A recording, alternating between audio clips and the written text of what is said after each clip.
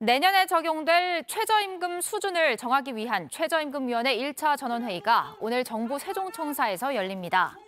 첫 회의는 당초 지난달에 열릴 예정이었지만 노동계가 공익위원 간사인 권순원 숙명여대 교수의 사퇴를 요구하며 파행된 바 있습니다. 내년 최저임금이 사상 처음으로 만 원을 넘을지 주목되는 가운데 노동계는 올해보다 24.7% 오른 시간당 12,000원을 요구하고 있습니다. 경영계는 동결을 요구할 가능성이 큰 것으로 전해집니다.